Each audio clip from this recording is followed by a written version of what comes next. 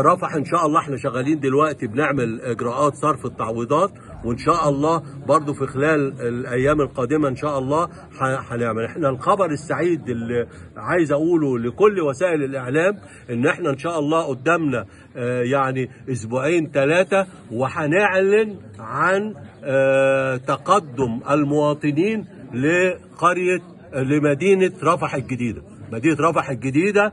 إن شاء الله المرحلة الأولى بتاعتها إن شاء الله هنعلن عنها خلال الأيام ديت وهتسلم للمواطنين إن شاء الله في 25 إبريل.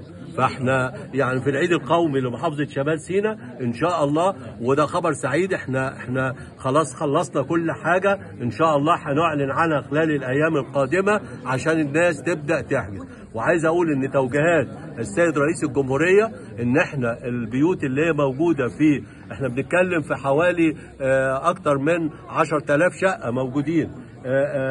سيادة الرئيس آه، أمر إنه إنه ال- البيوت دي إن شاء الله هنعلن عنها خلال الأيام ديت وإن شاء الله هتتسلم في اعتبارا في أعياد 25 إبريل إن شاء الله. وده خبر كويس وأنا بقول لأهلنا كلهم في آه، رفح والشيخ زويد لها لها شروطها إنما أهم شرط برضو عايز أطمن بيه الناس كلها اللي موجودة أهم شرط سيادة الرئيس قاله إن أسبقية أولى أهالي رفح أسبقية تانية أهالي الشيخ زويد.